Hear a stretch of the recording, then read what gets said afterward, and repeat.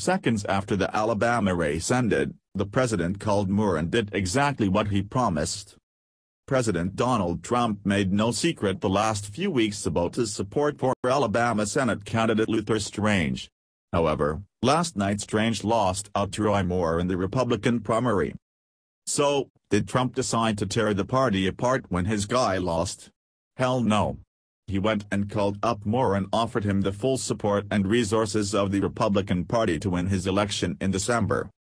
This right here is a very important lesson for the Republican Party to learn. They need to notice how the president supported the winning Republican instead of holding a grudge and making the whole party suffer for it. Heck, Roy Moore was so happy with Trump's endorsement, he went bragging about it on Twitter while it was happening. Great to talk with President Trump tonight about Hashayal said.